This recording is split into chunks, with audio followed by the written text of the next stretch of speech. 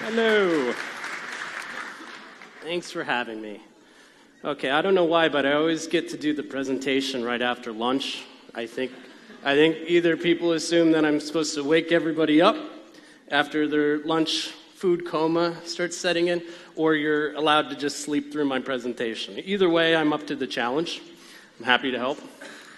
And uh, today I want to talk about a subject that's near and dear to me, uh, having spent a good portion of my life in the military, uh, which affected me dearly. I was in for about nine years, and uh, I was talking earlier uh, with some folks about how in the military we have this kind of uh, superstition that if you're in for about 10 years, you're in it for life. Like, it's kind of like jail. If you're in for jail for, for too long, you can never escape because you get too used to what life is like on the inside of a jail. Same with the military. Fortunately, I got out at nine years, six months, three weeks, and two days. So I'm completely normal now. Rest assured. Okay, but fortunately, uh, the subject is actually interesting and very relevant today's sub, uh, general theme of change because although a lot of people assume that the military is a very big, giant bureaucracy, it is. Uh, it does actually encourage and embrace change because it has to. And I'll address that here shortly in our presentation. Okay, so a little quick about myself. You already know Edward Robe. I've been in for nine years in the military. Six of it was in Army National Guard, basically as a reservist and then three years as a Department of Defense contractor under Boeing. And I work as a sales manager in a Ukrainian development firm. So, American, Ukrainian firm. A lot of people have questions about that. Uh, send the messages to Slido. I'll be happy to answer them at the end. Okay, so first, I should probably tell you that I am not Rambo. Clearly, uh, usually, when people give a presentation about military stuff, there's usually like a four star special forces Green Beret Ranger talking about Sun Tzu, Art of War, and how to apply it to business. I'm, I'm not like that. I was a radio operator in the military, and then I played with remote controlled planes. Okay? That's me right there with a vacuum cleaner in Afghanistan cleaning out a remote controlled plane. Not particularly sexy, so if this, this doesn't interest you at all and you were expecting the special forces, how to conquer the world thing, I think the, um, the coffee is still being served. You can run out, get a coffee, skip this whole presentation. I won't be offended. Okay, so I divided my presentation into three sections here the basics, which start with basic training, a bad haircut, and a little bit of culture shock. And we'll talk about the fundamentals and then talk about more deep, in depth stuff and how it applies to the business world and adapting to change. So, uh, again, people usually think of the military as this giant bureaucracy that's kind of forcing you to become exactly how they want you to be, to act and behave and think only the way they think. Yeah, that's true. There's some truth to that for sure. But the military doesn't necessarily want you to be just a robot. They want you to be able to adapt and think on your feet. Bear Grylls, you've seen the TV show, I think, Man vs. Wild maybe. Uh, he always says this thing about adapt and overcome. He was the special forces guy himself, actually. And it's actually encouraged in the military to be able to think for yourself when the time is appropriate. I'll talk about that later. But in general, if a soldier doesn't think on his feet, he's a bad soldier. And catastrophe usually results in people who don't change and adapt their strategies and the way they think on the field of battle. So, two examples which I came up with one being our very own American Revolution. Basically, a bunch of uh, American guys, farmers, hunters, uh, faced off against one of the you know, finest, well trained, disciplined armies in the world and won. Why? There's a number of reasons. This isn't the only reason, but I like to think it's because we learned how to hide behind trees. Effective strategy. The British would always, you know, kind of stand in line, do what we've been doing for 100 years line up, take a shot with your musket, stand up. We figured out that if you actually hide behind trees, you get shot a lot less. It's good. Adapt, overcome, right? The second picture here, that's actually a picture of uh, one of the tanks that the German Wehrmacht went into World War II in 1939 with. That's a tank.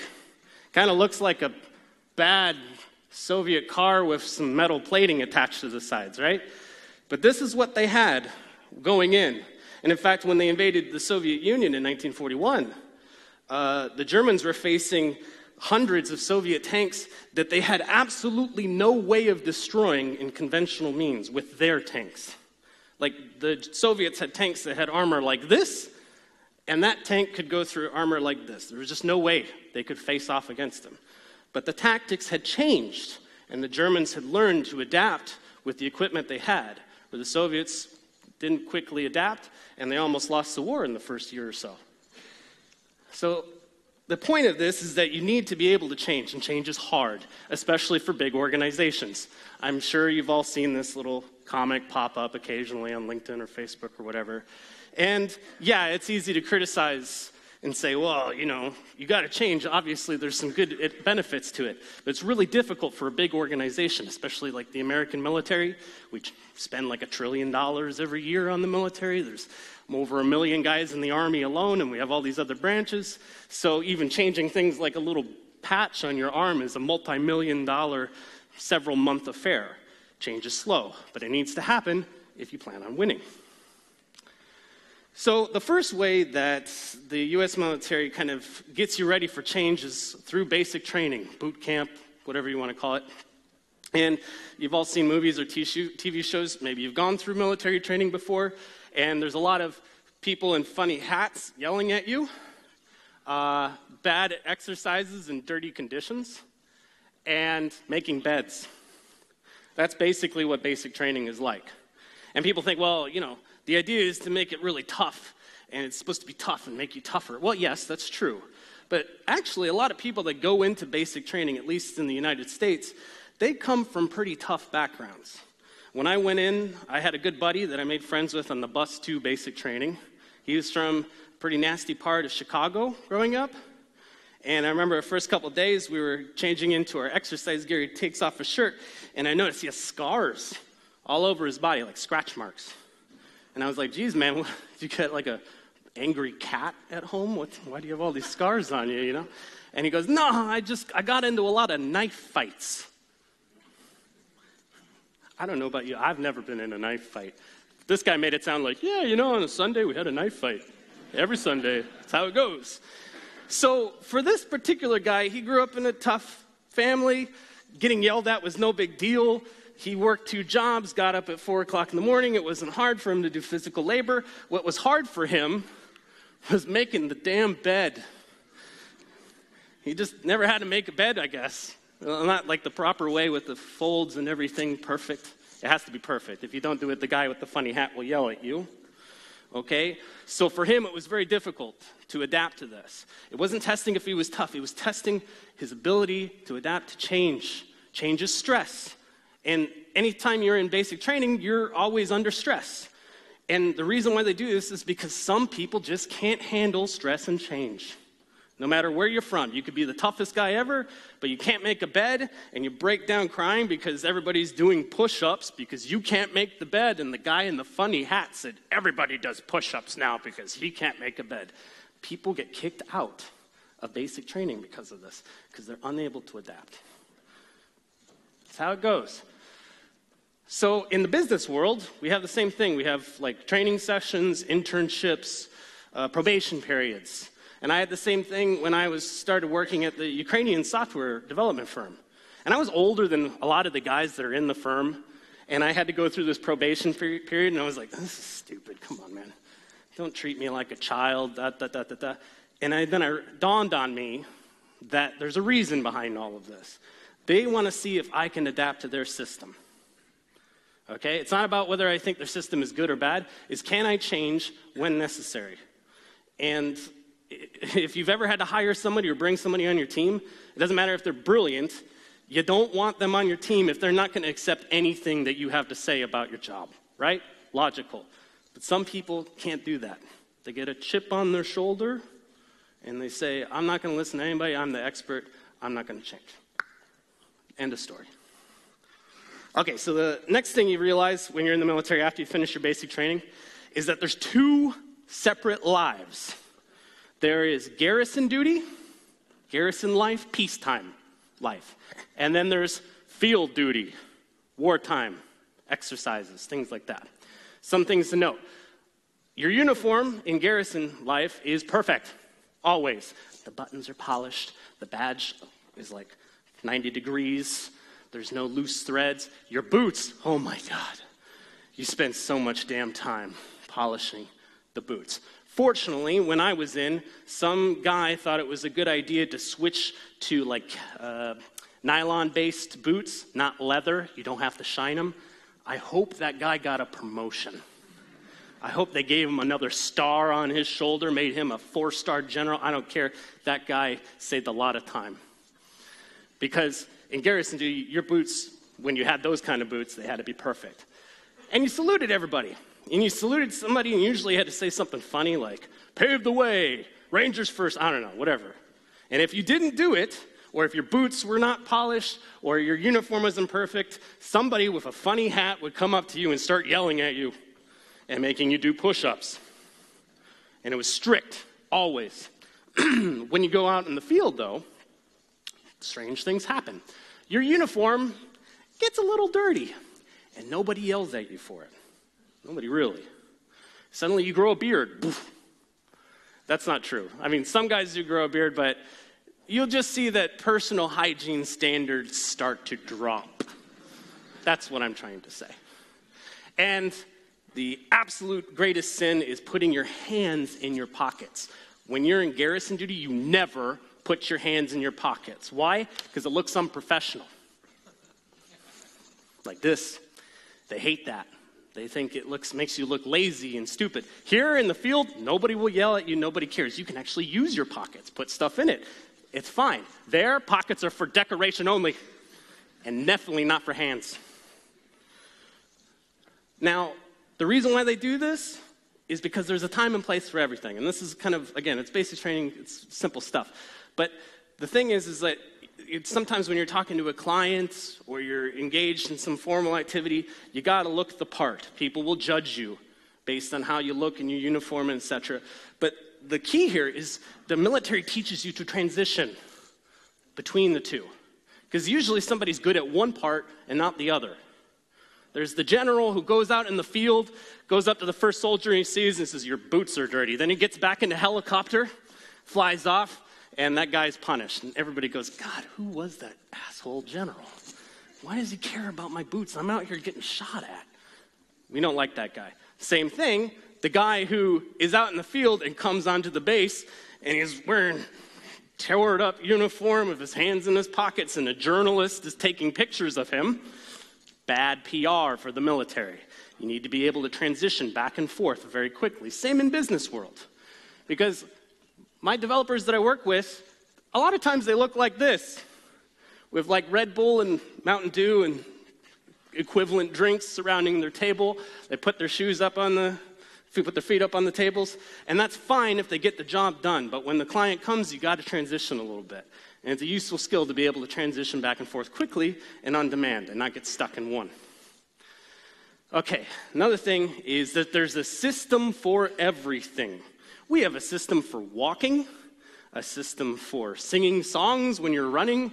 There's a system that goes down to the millimeter about what kind of mustache you can have in the Navy. There's a, there's a manual for it. We love field manuals and technical manuals in the military. We have a technical manual, well, field manual for carpentry, working with wood. That's like US government general sat down and wrote a book about wood. We like our systems, and there's a reason why. Well, there's a couple reasons why, actually. One, it stops arguments. Now, you're dealing with a bunch of people who are trained to think that they're the best and they can beat anyone and they're always right, and if you're wrong, it could be life or death.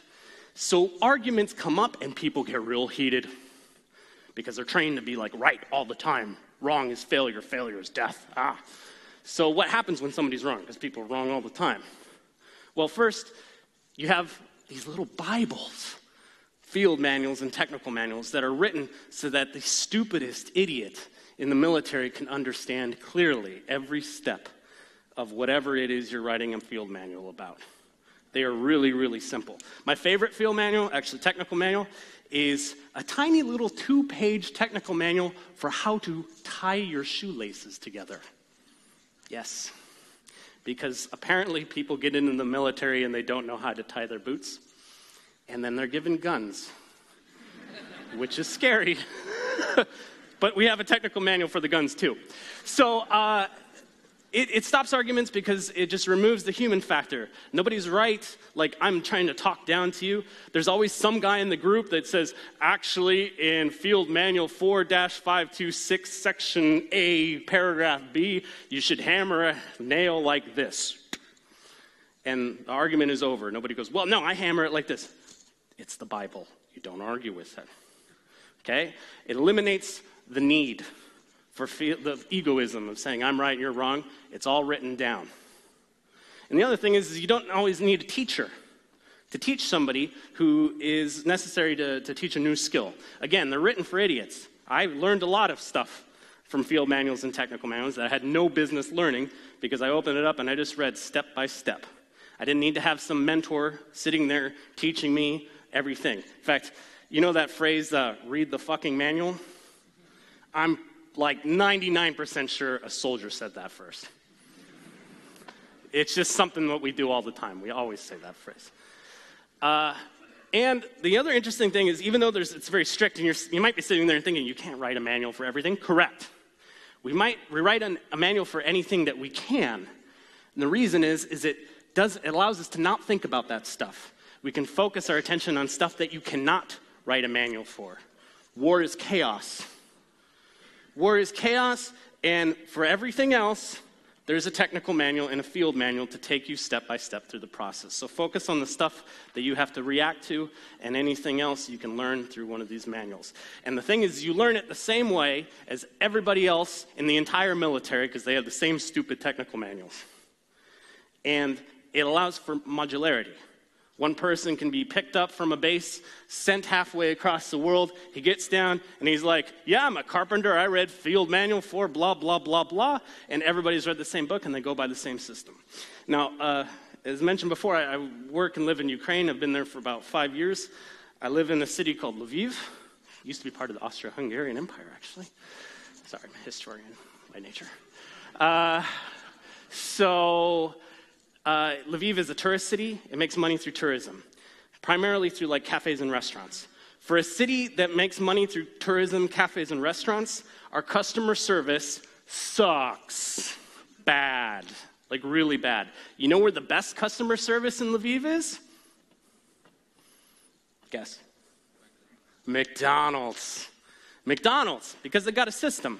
Because anybody that comes in, they have the system. Ray Kroc, when he bought over the, the business and started development. He was a man of systems, and he developed those systems so that any idiot can jump in, focus on it, learn it, and then whenever a real problem comes up that's not in the manual, you can be fresh and ready for it.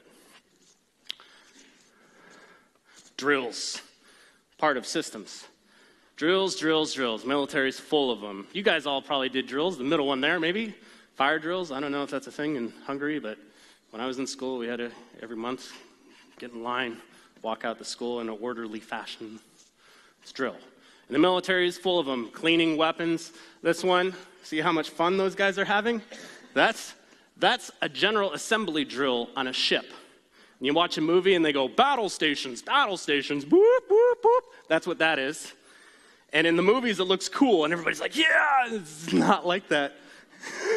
you have to put on stupid gloves to avoid like chemical and fire burns and the hat and you do them all the time and every time there's a general assembly drill everybody on the ship goes because nobody likes doing them nobody likes doing them most people hate them until the moment when you need them when you do the exercise for real and you do it so fast and so clean and without thinking that you go, man, it was a good thing that I did all those drills before. To accentuate this point, I have a little film before you start playing it, movie gods. Hold on. Uh, I just want to say this is talking about uh, Civil War soldiers. It's from a movie Glory, excellent movie, highly recommended. And they're training these guys to shoot as if it were in battle using these drills. Okay, please play the video. Yeah, oh, no, go back. That one. Yes. And with music? Yeah, that looks like it's on, isn't it? Hopefully, I don't have control of the sound. No, that's not me. I believe in you, movie gods. No, connect. No. Oh. They're all sitting in the back going, oh man, damn. This is, ah, there we go. Attention! Company! Attention, company! As you were. Front and center.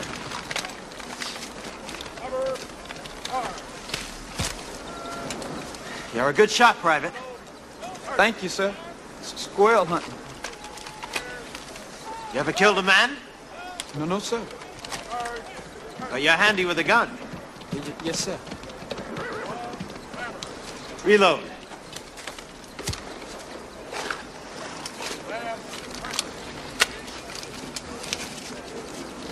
Faster.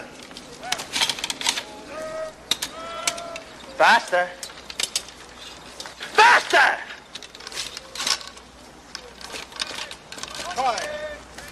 Discharge your weapon. Discharge your weapon. Do it! Now do it again, only this time I want it done quickly. A good man can fire three aim shots in a minute.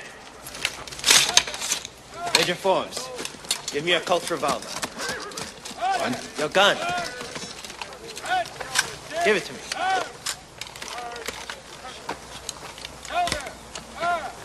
Faster. Reload. Quickly. Faster. Faster. Load. Faster. Do it. Do it. Do it. Do it.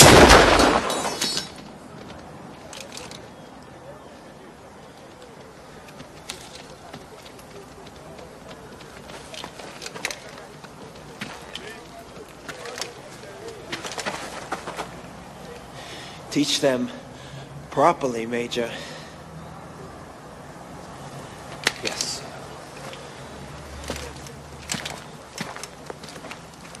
Attention, company! All right. Fire! Boom. Uh, uh, no. There we go. Okay. So I hope it shows the point, right? There's a reason why we do the drills, especially under stress and with like a real life scenario kind of happening behind you, because it's easy to say, oh, okay, I'll do it, no problem. How hard can it be? And then you actually do it, and it turns out to be actually pretty difficult, and it's timed, and you're under a lot of stress. Now, some of you guys are thinking, well, Edward, I'm not planning on shooting anybody at my job. I would say, okay, yes, fair enough. But I guarantee you that there is at least a couple tasks in any job which could be improved through dedicated drills. Okay? And the reason is again, it frees up your mental energy. There's there's a reason why, you know, Steve Jobs, Obama, Mark Zuckerberg wear the same clothes every day. They have enough money to buy whatever they want, but they wear the same thing because they don't want to think about it. They want to think about more important stuff. And drills allow you to do that. In my particular job as a sales guy, there was one thing that really got me was having sales calls. You know, we had a script, and I could say, oh, I can read a script, it's no big deal. Yeah, but then when you're actually doing it, it's much harder than you think. And I had to go through drills with my boss and my colleagues, and, every, and I was like, oh, this is stupid and stressful and whatever, and I hated it. And then I had real sales calls, and I was like, thank God I did that. Same with any job, really. I can, I can find at least one thing in any job where drills are important and useful, and the military definitely encourages it. So, advanced training. Now we're getting into the deep stuff. Okay? Another thing that's really encouraged is that you are always expected to know your job, but also everybody else's job around you. What this means is when you start working on a job, you have your colleagues, you have your boss, you have your subordinates, you have the people in your team, and you're expected not to know your job very well, not only, but also everybody else's around you. Why? Because people have a tendency, unfortunately, to get hurt or killed in the military. And so if the guy, the only guy who knows how to use the radio, gets shot, and you don't know how to re- use the radio because it's not your job, oops, now it's your problem. And I try, this is something that's like so obvious in the military, but it doesn't always translate into business world because people have their like little shells and they're like, this is my business. I don't want to deal with anything outside of this business. It doesn't work that way though. And I'll give you a perfect example. You recognize that instrument there at the bottom? Raise your hand if you have a printer or scanner in your office. Okay? Now, keep your hands up, keep your hands up, keep your hands up. Now, drop your hands if you never, ever, ever have to use it. Okay? Now, everybody look around real quick, see how many hands are up. Check this out. For those who have their hands up still, how many of you would know what to do if there was a paper jam? Keep your hands up if yes. If no, drop your hands. Boom, there's some casualties. Okay? What if there was some, if they're missing paper? Do you know where to go with the paper? If yes, keep your hands up. If you don't know where to get the paper in the office, drop your hands. Okay? How many of you know how to scan stuff? Okay? If the printer just stopped working entirely and there is no printers in your building, in the next five to 10 minutes, and you needed to scan or print something immediately, do you know where to go in case your printer just stops? Boom. See, that's a problem. The guys with the hands up, you guys are in the military. Good job. All right. This is, this is super key. You, you need to know this job. You can be like, well, I'm not the printer guy. Yeah, until you need the printer and the printer guy's not there. Okay, some more basic stuff, a little bit more advanced. So there's usually like three groups, general groups of people in the military. There's the enlisted. Those are your low-ranking privates, right? Most of the military is made up of these guys. They're pretty young. There's NCOs, non-commissioned officers, sergeants or chiefs in the Navy. Okay, they're usually more experienced. You do not automatically become a, a sergeant just because you completed some training. You have to have some actual experience. But here's an interesting thing officers, you can become an officer without any experience. You can just go through training, and then you go through officer training, and boom, you're an officer. And you're higher up in the hierarchy than this guy. And people go, well, that seems strange, doesn't seem fair. How can the young and inexperienced lead the old and wise? Valuable lesson for business as well. And I'll explain very clearly. First off, if you've ever seen this movie, another excellent movie, Master and Commander with Russell Crowe and what appears to be a 13 year old boy who is an officer. And he's commanding people who are two or three times older than him. Strange when you see it the first time in the movie. And the thing is, this exists because age does not necessarily mean experience. You get people who get into the field late or transitioning from another field. They don't know what they're doing. I didn't know what I was doing when I got into IT, it wasn't my background. But I didn't go in there and be like, well, I'm older. I should. Actually, I did do that. I went in there, I'm older. I should know how to do things. Bad. So, age doesn't mean experience. Experience doesn't mean you're a leader. So, you don't automatically get to be promoted to be a leader just because you've been there, old, you're older or you have more experience. Some people are good at being leaders, some are not. And military people are trained to respect the rank and the position, not the person. So when a young person comes in, people aren't always just automatically like, "Oh, young person, they're awful. I don't want I know more than them." No, because you don't know that person's background, you don't know their specialty, you don't know their training. Those young boys in the military here in the Master and Commander, this is like British Navy. And those guys, they're raised from like childhood to become officers. They know how to read and write, pretty important. If you don't know how to read and write a map, you shouldn't be an officer.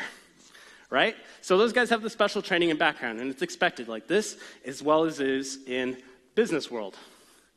So everybody has a role to play, and all roles are important, but it doesn't mean that everybody should become a leader. Okay, I got a lot of guys here on the right, my, my team leads, they come to me and they're like, hey, Edward, I need to, I'm gonna become a team lead. And they're developer, career developers, and they hate leadership they hate talking to other people that they don't need to talk about with or anything. They just want to code. But they've been in for six, seven, eight years, and they get promoted into team lead, and they have to lead a team, and they hate it. What do they do? Well, I say, you know, focus on being a good developer. You don't want to be a leader, you don't have to be a leader. No one's expecting it of you. Okay?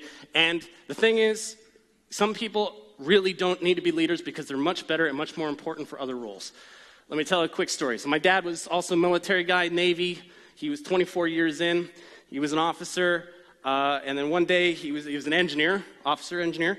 And uh, they had to find a new guy who was going to be the chief engineer of a nuclear ship. It's an icebreaker, actually. Okay, and they had two candidates, both amazing, both fantastic. Okay, First candidate comes in, does an interview with the captain. Captain asks him all these questions, blah, blah, blah. My dad is standing off to the side. Sounds good. And they ask the candidate, he goes, okay, and I want you guys to all play along, okay? Don't cheat. He asks the following question, and don't look. He asks, how many belt loops are on your pants? Don't look. And the candidate was like, oh, seven, I guess. Captain says, okay, lets him go. And I want you to think about it. Try to think how many belt loops you have. If you don't have a belt or you don't, you're wearing a dress, whatever, that's fine. Just if you have a belt or pants, think of how many loops are on there. Don't look. Next candidate comes in, and he's, he's kind of an introvert, doesn't really like talking to people. He's a specialty person, okay, but a very good engineer, very competent, disciplined. Goes through the interview, asks these questions. And in the interview, same thing. Guy, uh, the captain asks, How many belt loops do you have without looking? And the guy immediately says, Nine, without hesitation. The captain says, Okay. The guy goes, he says, I want the second guy to be the chief engineer. My dad goes, What? First guy was like nicer, a little bit more friendly, chief, you know, leadership position. And he goes, I know. I have another job for that guy. That guy can be a leader, he can be, you know, captain of the bridge or whatever. But being a nuclear chief engineer, you look at a wall of buttons like that all day, every day. And you need to be able to tell if one of those buttons is the wrong color immediately at all times. Attention to detail. And that second guy just had it. Some people have it, some people don't. And he picked that second guy as the chief engineer for that position and gave the first guy a different job, a leadership job. Because the fact of the matter is, some people, you want, sometimes you want the skilled guy, not the leader guy. Okay, if you have some disease or cancer or anything, you want Dr. House, who might be an asshole, but he's good at what he does. Not the nice doctor who's like 80% right. Just how it is. It's natural. And leaders have to make difficult decisions. And some people cannot make difficult decisions and take responsibility and the stress on themselves. So, like, here's Dwight Eisenhower, Dwight, yeah, Eisenhower, uh, telling the guys before the Normandy invasion hey, you know, you're going in at this. That was a big risk. He would have to be responsible for the failure of the Normandy invasion and live with that for the rest of his life. He would be the guy that screwed up the Normandy invasion. Some people cannot handle that stress, myself included. Other people can. Those guys become leaders, other guys become specialists. Okay, so another thing is the military this very smart guy, this Prussian field marshal Helmuth Karl Bernhard Graf Moltke, that's a huge name. He identified four traits in soldiers that, if you look at any soldier, they always have two of these. Okay? Smart, hardworking, stupid, or lazy. Obviously, you can't be like smart and stupid at the same time or hardworking and lazy at the same time. What do you think the best combination is for a soldier? Smart, Smart, hardworking. I heard a couple people are smart, lazy because you guys are smart, lazy. Oh, I gotcha. Okay, what do you think the worst combination is? All right, pretty mix. All right, spoiler alert. The next, the next slide will tell you. Okay, he said that the smart, hardworking people were great. They made excellent sergeants and middle, middle range officers. They were fantastic. Okay, but they didn't make them the top officers. He wanted the smart, lazy people to be that way. Lazy people find more efficient methods. They like to think of things. And if you've ever read books like the E Myth Revisited and that sort of thing, the managers and people that know systems, those are the smart, hardworking people. But the people that develop stuff, new stuff, ideas, those guys are usually lazy. They're lazy and they want to find an easier way to do it, so they have to work less. Nice. Okay?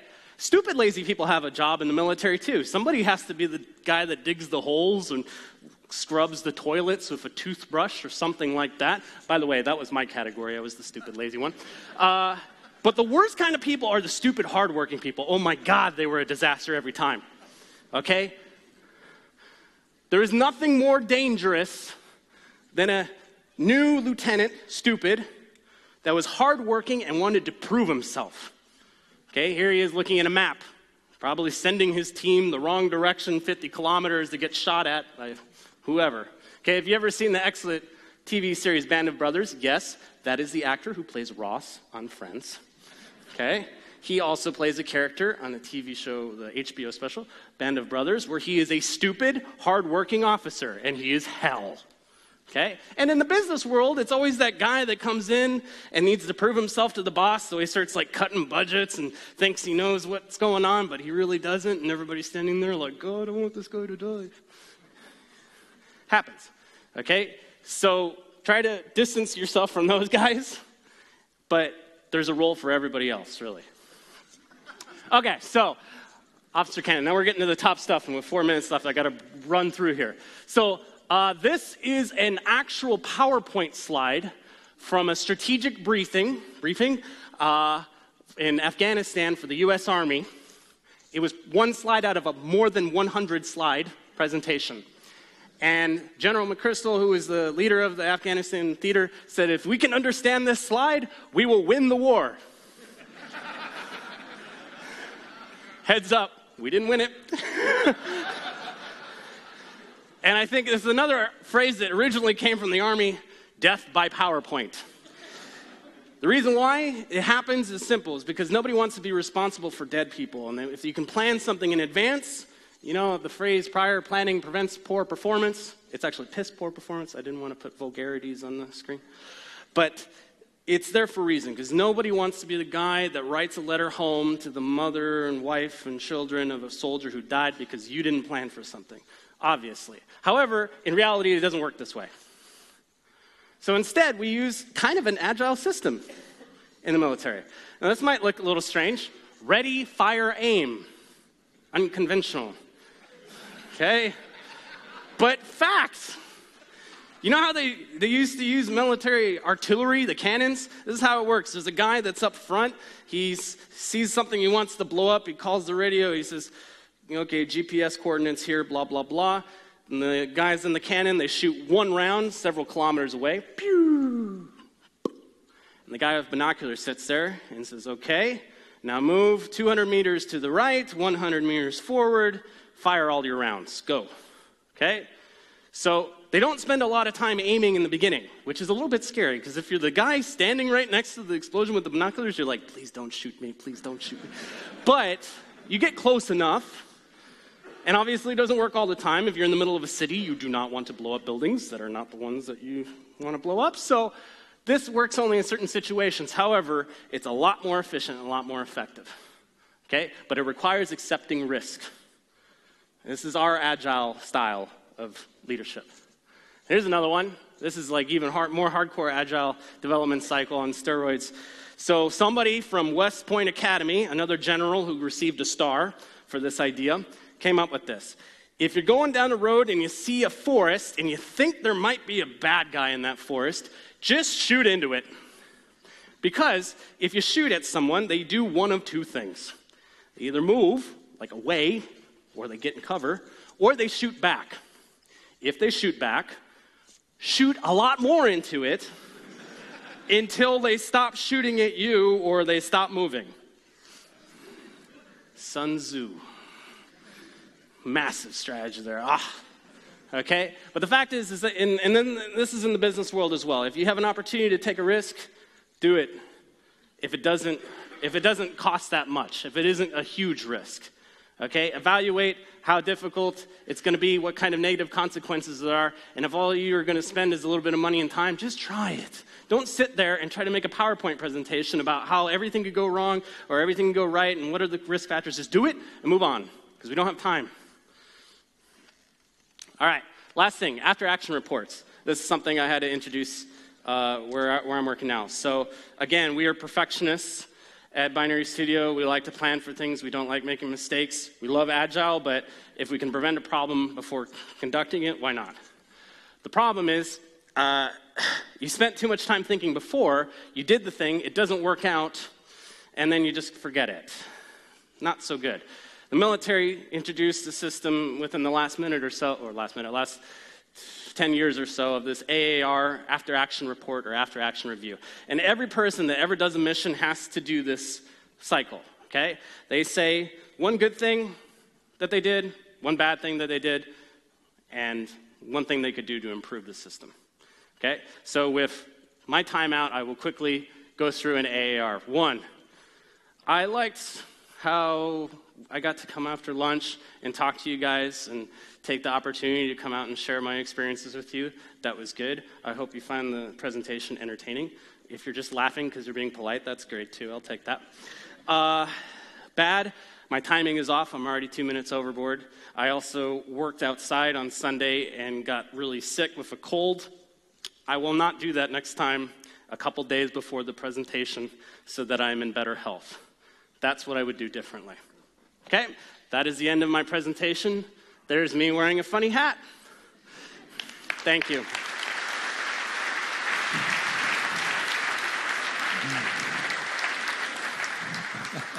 Three minutes passed. Oops. Okay. That was great. Thank you. Thank you. Very entertaining.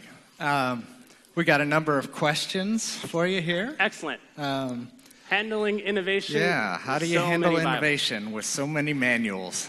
The difference between Bibles and technical manuals and field manuals is that technical manuals and field manuals get updated. yeah. Also, you don't write technical manuals and field manuals for things that you can't. It's only for the, the, the constants, not the variables. Okay? That's it. Okay. How do you uh, collect valuable feedback and incorporate those? So those after action reports, I apologize, I kind of rushed through it. Again, everybody is expected to participate from the top generals to the lower soldiers, and everybody has to listen to what's going on.